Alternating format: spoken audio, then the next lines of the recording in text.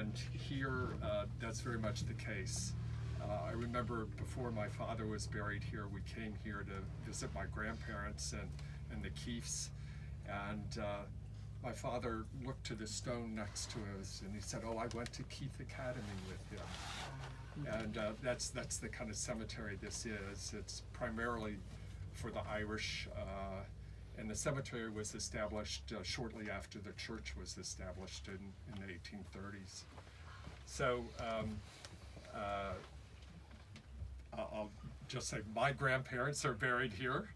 Uh, my father and mother are buried next to them. Uh, Uncle Richie Dunfey is buried here.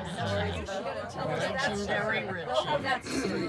Um, I'll, I'll let someone else tell the story about Uncle Richie.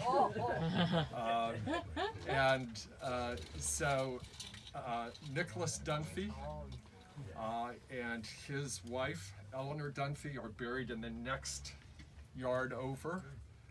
Um, Elizabeth Dunfey, who was the first Dunfey uh, in our in our line, uh, died here in Lowell at the Poor Farm, uh, and she's buried here somewhere in an unmarked grave.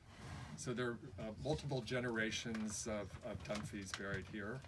Kay Dunfey is is buried at the at the front.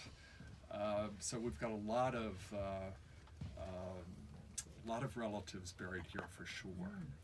So uh, we've passed around a card uh, with Nana's prayer on it, and